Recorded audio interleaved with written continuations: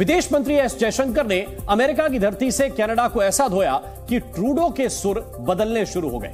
विदेश मंत्री ने आसान भाषा में साफ़ कर दिया कि लोकतंत्र की दुहाई देकर खालिस्तानी एजेंडा चलाने वाले कनाडा के पीएम ट्रूडो के पास अब खालिस्तान प्रेम छोड़ने का ही रास्ता बचा है।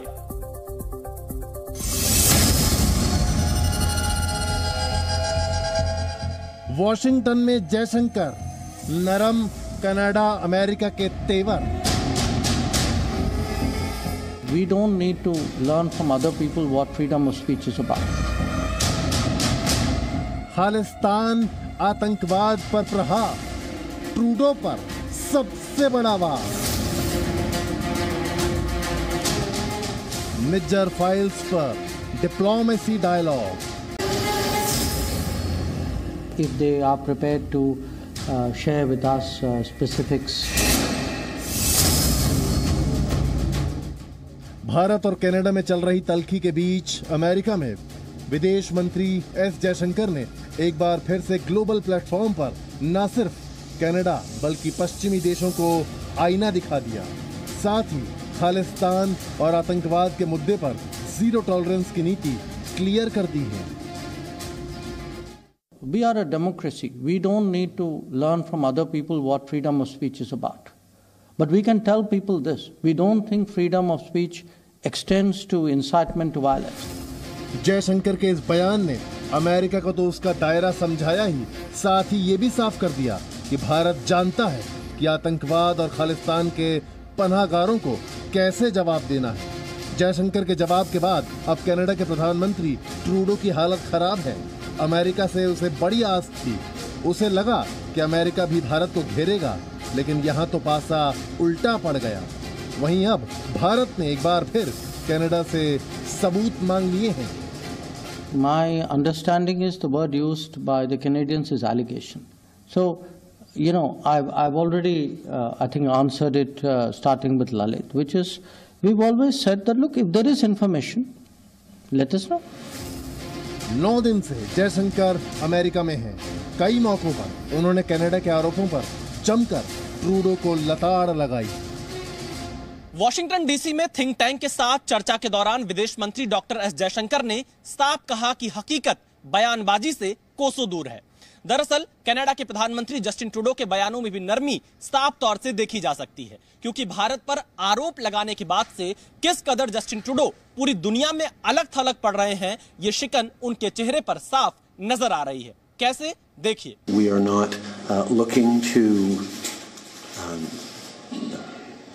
provoke or escalate. India is a country of growing importance, and we call upon the government of India to engage with us. Uh, India is a growing economic power. एक ओर Canada अब तक भारत के खिलाफ सबूत नहीं दे पाया वहीं दूसरी ओर भारत और कनाडा के बीच चल रहे तनाव का असर अब ब्रिटेन में भी दिखने लगा है वहाँ भारतीय उच्चायुक्त विक्रम दोरई स्वामी को खालिस्तानी चरमपंथियों ने स्कॉटलैंड के एक गुरुद्वारे में प्रवेश से रोकने का दुस्साहस किया जिसके बाद भारत ने कड़ी प्रतिक्रिया देते हुए एक्शन की मांग की है पंजाब में कोई कोई खालिस्तान का कुछ लेना देना नहीं। दिल्ली में खालिस्तान का लेना देना नहीं। आप कहीं विदेश में बैठकर खालिस्तान की बात करते हो और मैं कह रहा हूँ, जिसको खालिस्तान चाहिए, जस्टिन टूडो से खालिस्तान मांग ले, उनके पास ज़मीन बहुत है। तो एक ज़मीन का टुकड़ा लेकर वहाँ अपना खालिस्तान बना ले।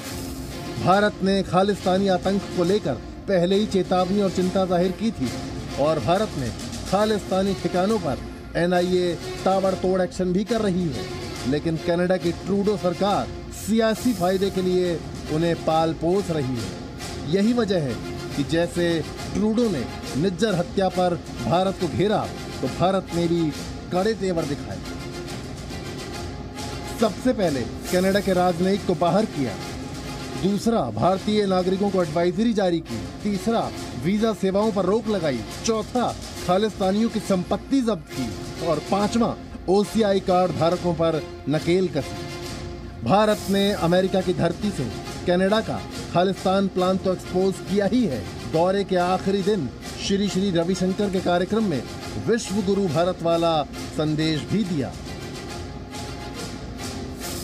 Bringing the world together has become even more important it is with this approach that India took up the responsibility of the G twenty presidency and our theme one earth One Family, and One Future, is represented so well today before us culturally. Bharat की बढ़ती ताकत को Canada ने कम आंकने की कोशिश की। वहीं America भी वैश्विक कूटनीति का हवाला देकर दोस्त कनाडा के लिए भारत को ज्ञान देने का प्रयास कर रहा था। लेकिन भारत ने कनाडा के साथ साथ अमेरिका को भी लाउड एंड क्लियर मैसेज दिया है कि भारत झूठे आरोप नहीं सहेगा और ना ही झूठे आरोपों की पैरोकारी को। और देश की शांति भंग करने के लिए राजधानी से लेकर सीमा पर आतंकी साजिश रच रहे हैं। दिल्ली में तीन आईएसआई आतंकियों की तलाश हो रही है तो वहीं कुपवाड़ा में दो घुसपैठियों को सेना ने मार गिराया। देश भर के अलग अलग हिस्सों में आतंकी आईएसआईएस कनेक्शन और खालिस्तानी टेरर को लेकर एनआईए का बड़ा ऑपरेशन चल रहा है।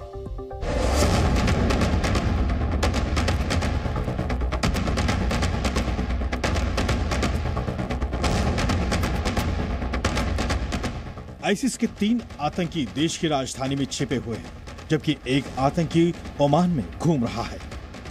दिल्ली में छिपे आतंकियों की तलाश में पुलिस और एनआईए की जॉइंट टीम राजधानी की गलियों में दनादन छापे मार रही है। आईसिस के आतंकियों पर तीन लाख रुपए का इनाम है। आतंकी मोहम्मद शहनवाज, आतंकी रिजवान अली, आतंकी अब्दुल्ला फयाज, वहीं चौथा आतंकी तलहा लियाकत जिस पर तीन लाख रुपए का इनाम है वो ओमान में है। बताया जा रहा है कि आईएसआईएस के चारों आतंकी पुणे केस में वांटेड है। फरार आतंकियों का दिल्ली कनेक्शन सामने आने के बाद यहाँ इनकी तलाश की जा रही है। आतंकी शहनवाज पुणे पुलिस की कस्टडी से फरार होने के बाद दिल्ली के साउथ ईस्ट इलाके में छुपकर रह रहा था। वो एक आईडी एक्सपर्ट भी है। दिवाली से पहले देश में अशांति फैलाने के लिए दुश्मन काम पर लगे हैं। देश की राजधानी ही नहीं, सीमा के पार भी आतंकी एक्टिव हैं। जम्मू कश्मीर के कुपवाड़ा में घुसपैठ की कोशिश कर रहे दो आतंकियों को सेना ने ढेर भी कर दिया है। इस इलाके में एक इनपुट था कि कुंभ का डेरा जो इलाका है मचेल सेक्टर का, वहाँ उस नियंत्रण रेखा से घुसपैठ ही घुसपैठ की कोशिश कर सकते हैं। एक जॉइंट ऑपरेशन लॉन्च किया गया, भारतीय सेना और जम्मू कश्मीर पुलिस ने दोनों ने मिलकर ये ऑपरेशन लॉन्च किया और जैसे ही एक संदिग्ध हरकत दिखी तो उनको ललकारा गया। एक ब्रीफ एनकाउंटर हुआ, जिसमें दो मिलिटेंट जो है घुसपैठी उनको मार गिराया गया है। और दोनों जो बताया जा रहा है, अभी तक सूत्रों के हवाले से कि पाकिस्तानी मूली के हो सकते हैं, हालाँकि जो पहचान है, अभी तक ऑफिशियली सार्वजनिक नहीं की गई है। बताया जा रहा है कि मारे गए दोनों आतंकियों से भारी मात्रा में गोला बारूद मिले हैं। यानी आतंकी बड़ी साजिश के तहत आए थे। बीते कुछ वक्त में सीमा पर घुसपैठ की कोशिश बढ़ी है। बर्फबारी के मौसम से पहले आतंकी भारत में दाखिल होकर अपने नापाक इरादों को अंजाम देना चाहते हैं। उनके पास से दो के फोर्टी सेवन राइफल 90 राउंड्स और इक्कीस सौ रुपया पाकिस्तानी करेंसी मिली है और कुछ और आपत्तिजनक सामग्री भी बरामद की गई है। उन दोनों के शव रिट्रीव कर लिए गए हैं और पहचान की प्रक्रिया भी जारी है। लगातार जो इनपुट्स हैं खुफिया विभाग के पास के लॉन्चिंग पैड पे करीबन तीन लॉन्चिंग पैड जो सीमा के उस पार नीलम घाटी में एक्टिव हैं डेढ़ सौ से ज़्यादा ऐसे ट्रेन मिलिटेंट हैं जो घुसपैठ की फिराक में हैं। और बर्फबारी होने से पहले वे चाहते हैं कि ज़्यादा से ज़्यादा जो मिलिटेंट है वो इस तरफ़ धकेले जाए। इसलिए लगातार जो पूरी नियंत्रण रेखा है, उसको हाई अलर्ट पे रखा गया है। देश के भीतर और सीमा पर भारत की खुफिया एजेंसियाँ बेहद चौकस हैं। इसलिए आतंकियों की हर साजिश फेल हो रही है। इससे पहले एनआईए ने पिछले दिनों पंजाब हरियाणा, राजस्थान, यूपी और उत्तराखंड में कई जगह छापेमारी की थी। कुल मिलाकर देश में खालिस्तानी, आईसिस और पाकिस्तान प्रायोजित आतंक का भारत मुँह तोड़ जवाब दे रहा है और गिने चुने आतंकी इसी बौखलाहट में साजिश रच रहे हैं। Bureau report, Zee Media. Prachand helicopter हो या प्रोजेक्ट उद्भव, चीन और पाकिस्तान जैसे देशों की हर चाल को नाकाम करने के लिए भारतीय सेना अपनी शक्ति को अचूक बना रही है। देखिए देशित में ये special report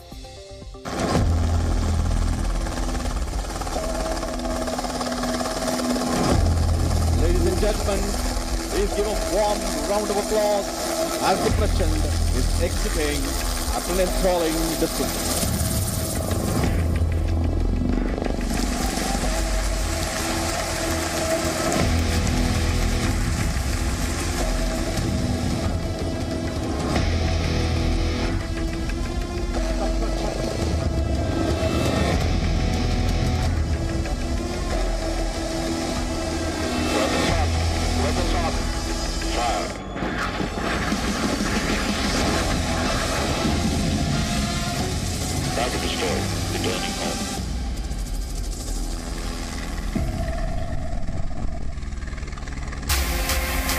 दुश्मनों पर अब प्रचंड प्रहार।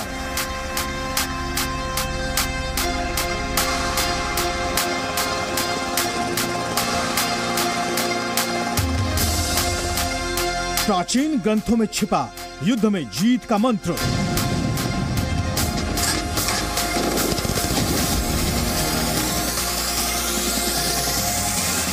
प्रोजेक्ट उद्भव का वार। नहीं झेल पाएँगे चीन, पाकिस्तान।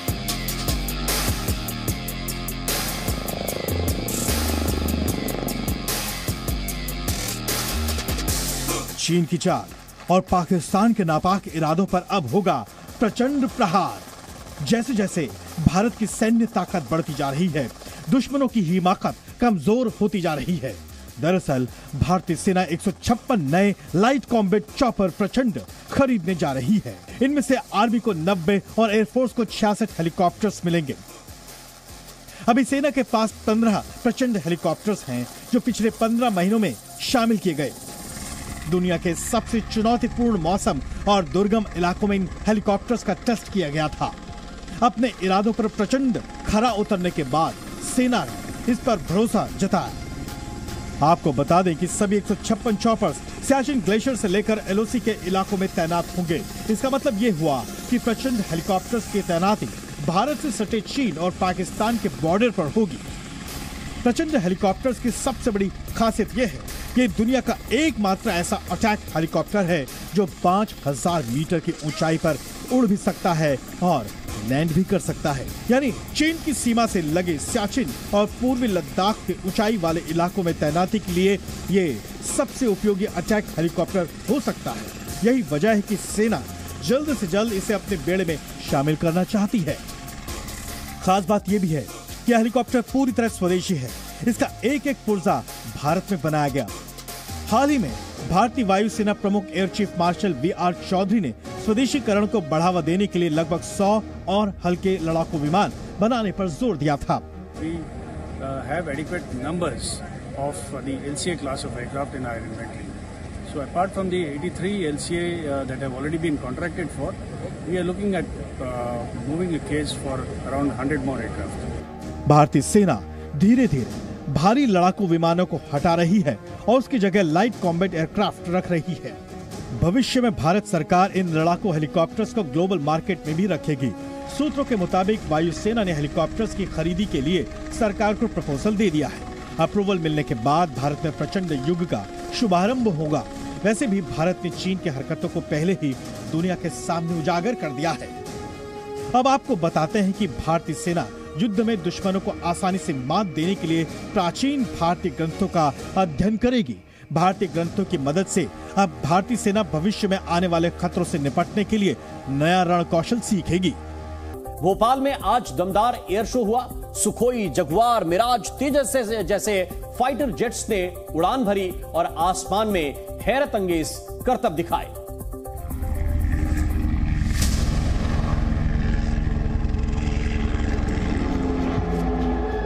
जिस हिमगिरी को रहे घमंड, उसका चूर अहंकार करे। वर्षा आंधी आतप अखंड ना कर सके जिसको विखंड।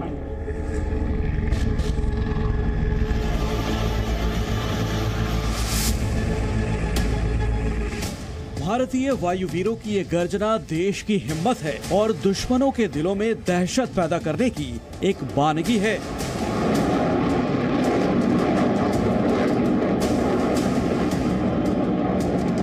भोपाल के आसमान में वायुसेना के फाइटर जेट ने चीन और पाकिस्तान के प्राण वायु निकालने वाली उड़ान भरी।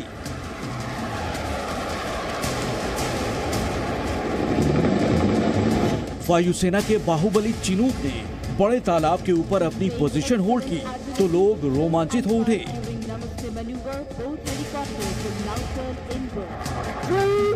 तेजस ने फुल स्पीड के साथ करतब दिखाते हुए हवा में गोते लगाए। वायु वीरों का ये जज्बा और हिम्मत देखकर हर भारतीय का सीना गर्व से चौड़ा हो गया। एयर शो के दौरान भोजेश्वर महादेव के सम्मान में एयरक्राफ्ट ने आसमान में त्रिशूल का आकार बनाकर सबका दिल जीत लिया।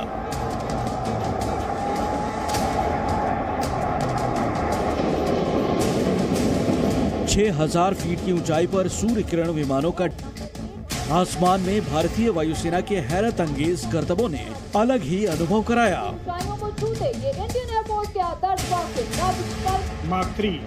भारत में ही विकसित किए गए एडवांस मार्क थ्री हेलीकॉप्टर्स ने भी एयर शो के दौरान उड़ान भरी और आत्मनिर्भर भारत का जज्बा दिखाया। भारतीय वायुवीरों ने गजरात फॉर्मेशन दिखाया कि कैसे युद्ध के दौरान बिना लैंड किए वो लगातार उड़ान भर सकते हैं। और दुश्मन को नेस्तो नाबूद कर सकते हैं। विशाल काय C one thirty J super Hercules विमान ने आसमान में पृथ्वी फॉर्मेशन दिखाई तो धरती और आसमान में विमान की गर्जना सुनाई दी।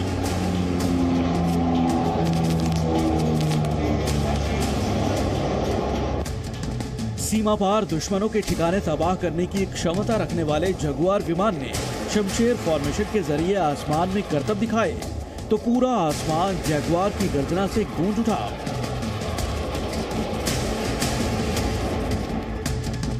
वायुवीरों की सारंग टीम के चार एचएल ध्रुव हेलीकॉप्टर्स ने हवा में दिल का शेप बनाकर सबका दिल जीत लिया। फ्लाई पास में लड़ाकू विमान S U thirty, Mirage two thousand, Jaguar, LCA Tejas. Hawks helicopter Chinook M I seventeen V five Chetak LLH और परिवहन विमान सी वन थर्टी और आई एल सेवेंटी एट शामिल हुए। Surya Kiran aerobatic team Sarang helicopter display team और Akash Ganga team ने भी कार्यक्रम में प्रदर्शन कर अपना दम दिखाया।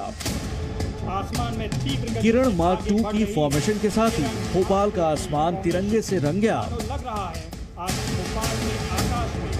वायुसेना ने एयर शो के ज़रिए शक्ति प्रदर्शन किया और दुश्मन देशों को अपनी ताकत दिखाई। भोपाल के आसमान में उड़े फाइटर जेट्स ने दिखाया कि कैसे हिंदुस्तान के वायुवीर सीमाओं की हिफाजत के लिए तो तैयार हैं ही। ज़रूरत पड़ने पर सीमा पार कभी भी स्ट्राइक कर सकते हैं। Bureau report, Zee Media. और इस वक्त एक बड़ी खबर मिल रही है। लंदन में भारतीय उच्चायोग का बयान आया है। ग्लासगो में जो घटना हुई, उस पर यह बयान आया है। और इस बयान में कहा गया है कि साजिश के तहत इस घटना को अंजाम दिया गया। साजिश में शामिल तीन में से एक सांसद है। उच्चायुक्त की कार का दरवाज़ा जबरन खोला गया। तो इस वक्त की बड़ी खबर आपको बता रहे हैं। भारतीय उच्चायोग का बयान इस मामले को लेकर आ गया है। लंदन में भारतीय उच्चायोग ने यह बयान जारी किया है और यह बताया है कि ग्लासगो में जो घटना घटी, उस घटना को साजिश के तहत अंजाम दिया गया है। इस साजिश में शामिल तीन में से एक सांसद है। यह जानकारी भी उच्चायोग की तरफ़ से दी गई है और यह भी बताया गया है कि उच्चायुक्त की कार का दरवाज़ा जबरन खोला गया।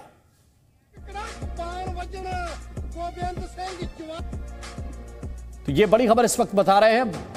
भारतीय उच्चायुक्त की ये कार जिसका दरवाज़ा जबरन खोला गया, भारतीय उच्चायोग ने इस घटना की पुष्टि करते हुए स्पष्ट रूप से यह जानकारी दी है कि उच्चायुक्त की कार का दरवाज़ा जबरन खोला गया था और इस पर अपनी आपत्ति भारत की तरफ़ से पहले ही दर्ज कराई जा चुकी है।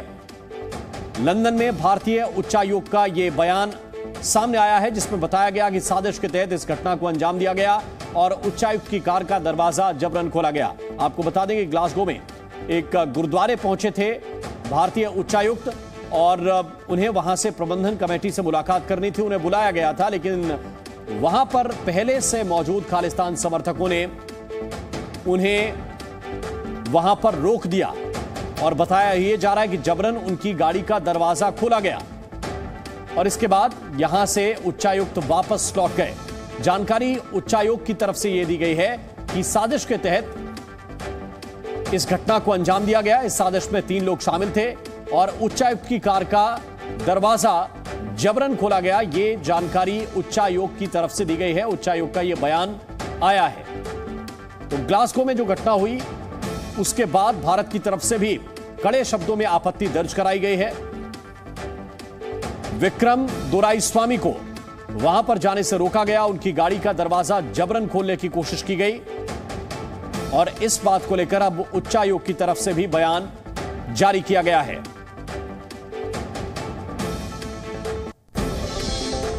तो इस वक्त की बड़ी खबर आपको बता रहे हैं, लंदन में भारतीय उच्चायोग का बयान आया और उच्चायोग ने बयान जारी करते हुए ग्लासगो में हुई घटना पर विस्तार से जानकारी दी है।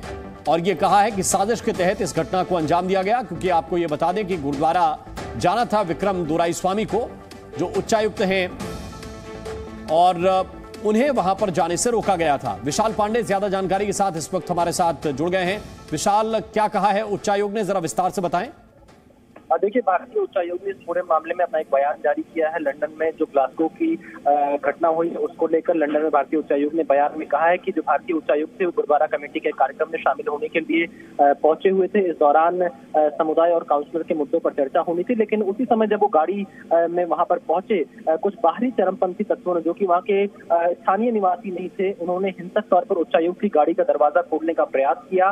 लंदन के हाई कमीशन का यह साफ़ तौर पर भारत का कहना है कि इस मुद्दे पर संबंधित क्षेत्र से पुलिस को जाँच करने की ज़रूरत है और किसी भी विवाद से बचने के लिए उच्चायुक्त वहाँ से तुरंत रवाना हो गए और कार्यक्रम के जो आयोजक थे उन्होंने भी बीच बचाव किया जिसकी वजह से बड़ी घटना को रोका जा सका है और फ़िलहाल भारत ने एफसीडीओ और मेट्रोपॉलिटन पुलिस के सामने इस मुद्दे को उठाया है। इस शर्मनाक घटना को भारत ने बहुत पुरजोर तरीके से विशाल बहुत बहुत शुक्रिया बहुत बहुत धन्यवाद आपका इस पूरे अपडेट के लिए।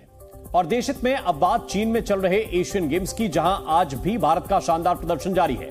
भारतीय खिलाड़ियों ने आज भी दमदार खेल दिखाया है और दो गोल्ड मेडल हासिल किए हैं। जी हाँ, आज दो मुकाबलों में भारत को गोल्ड मेडल मिले हैं। टेनिस के मिक्स डबल्स में रोहन बोपन्ना और ऋतुजा भोसले ने स्वर्ण पदक जीता है। शुरुआती सेट दो छह से हारने के बाद भारतीय जोड़ी ने दमदार वापसी की और सुपर टाई ब्रेक दस चार से जीता। भारत को आज दूसरा गोल्ड मेडल स्क्वैश टीम ने दिलाया है। मेंस स्क्वैश टीम ने पाकिस्तान को हराकर गोल्ड मेडल अपने नाम किया है। स्क्वैश में 2014 के बाद भारतीय टीम ने पहली बार एशियाई खेलों में गोल्ड मेडल हासिल किया है। तो आज दो गोल्ड मेडल जीतने के साथ ही एशियन गेम्स में भारत के मेडल की संख्या कुल मिलाकर 36 हो गई है, जिसमें 10 गोल्ड और 13 सिल्वर मेडल शामिल हैं। तो चीन के हांगजाओ में आज एक भारत पाकिस्तान का मुकाबला हुआ और ऐसा मुकाबला हुआ कि वो उसका रोमांच किसी तरह कम नहीं था। ये मुकाबला था स्कॉश में जहाँ पर फाइनल्स में भारत को जीत मिली और हमने जीत लिया गोल्ड मेडल मेंस टीम में और हमारे साथ वो खड़े हैं जिन्होंने आखिरी में जब आपकी धड़कनें बहुत बढ़ रही थी हमारी धड़कनें बहुत बढ़ रही थी आपकी धड़कनें मुझे लग रहा काबू में थी जो आप वो कर पाए। जी काफ़ी डरावना था अगर मैं कहूँ तो आ, हम काफ़ी खुश हैं। मेरा पहला एशियन गेम्स है। मैं टीम में सबसे छोटा हूँ। तो एक्चुअली अगर मेरे तीनों सीनियर्स का सपोर्ट नहीं होता तो ये you know this would not be possible तो बस, बहुत खुश हैं हम। अबे, आखिरी मैच आपका था और सब कुछ आपके ऊपर आ गया था और डाउन चल रहे थे हम। तो उस वक्त हम देख रहे थे सौरभ से भी बातचीत आपकी चल रही थी। क्या चल रहा था उस वक्त दिमाग में कि इतने बड़े स्टेज पर और आखिरी में आप ही के ऊपर आके पूरे देश की निगाहें टिकी हुई थी? सौरभ से कल रात भी बात हुई थी और उसने बोला, देखो, मैच ही है। अगर आप बाहर का शोर बंद कर दें और जो शॉट आपको खेलनी है उस पर फोकस करें तो फिर बहुत आसान हो जाता है। फिर आप ये नहीं सोचते हो कि अगर मैं हार गया क्या होगा? कि मैं जीत गया तो क्या होगा? आ, तो और अगर ये सौरभ महेश या हैरी का लास्ट एशियन गेम्स रहा क्योंकि उनका एज काफ़ी सीनियर है तो मैंने सिर्फ़ उनके लिए फ़ाइट किया है आज। ये जीत पाकिस्तान के खिलाफ मिली है तो थोड़ी और स्पेशल हो जाती? देखो हमारे लिए तो गोल्ड मेडल जीतना मोस्ट इंपॉर्टेंट था, पर अगर आप सब के लिए, अगर इंडिया के लिए और स्पेशल हो तो फिर ठीक है, और स्पेशल है।